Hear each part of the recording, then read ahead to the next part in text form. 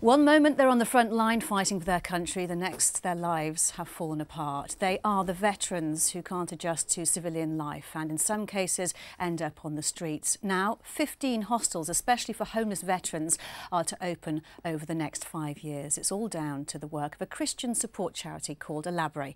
Our welfare, welfare correspondent Sue Kinnear is here. Uh, Sue, it's uh, opened its first with two more coming before Christmas, hasn't it? Yes, that's right and those two will be opened like the first in the southwest southwest of England and they're expected to be full almost immediately because what Alabare have done to get these hostels up and running is work with armed forces charities, Royal British Legion, ABF, the Soldiers Charity and others to try and meet what they see as the growing needs of homeless and vulnerable veterans. They've seen more and more come to their door in Plymouth and be referred to that hostel and they say that in Dorset last year uh, the homeless numbers of veterans rose by 50%. And to give you some idea of the, of the national scale of this, the Veterans Agency say that 3% of Britain's 15,000 homeless may have military connections. So uh, a big problem that's being addressed by Alabare in this veterans only uh, hostel in Plymouth, their first, and I've been there to meet some of the guys they've helped and uh, hear their stories.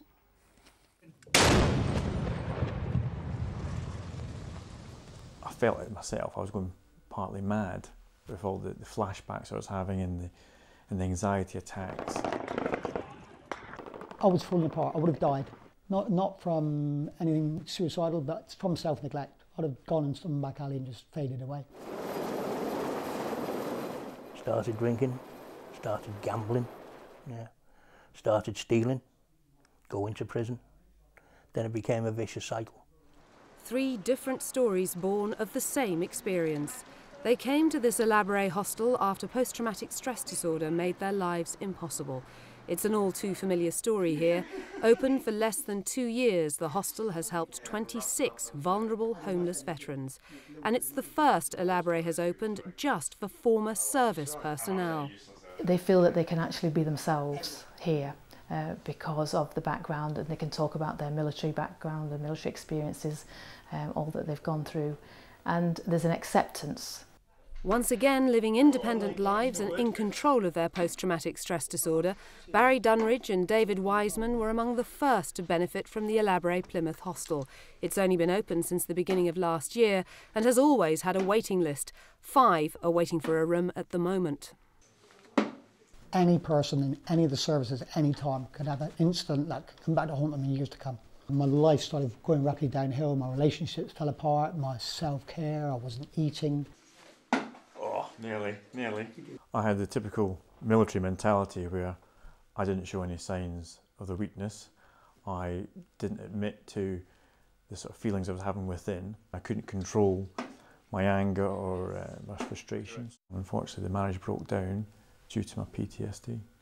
The Royal British Legion, who've given Alabare £180,000, say in Bristol alone, six veterans a week come to them for accommodation. The man who came up with the idea of dedicated ex-services hostels run by Alabare wants more training for the 19,000 service personnel returning to civilian life each year. When they actually leave the armed forces is get a better briefing and better training to understand what they're coming into. They're leaving the armed forces, the camaraderie, the support. Alabare are opening two more hostels in Bristol and Weymouth before the end of the year, with plans to have 15 across the south and southwest to help what they say is an increasing number of vulnerable veterans. Oh, see the long ones away. Although you've got family back home, yeah, totally different kind of family. They haven't been through the things you've been through. Yeah. It takes a lot of adjusting. And sometimes you just can't do it. And it plays with the head.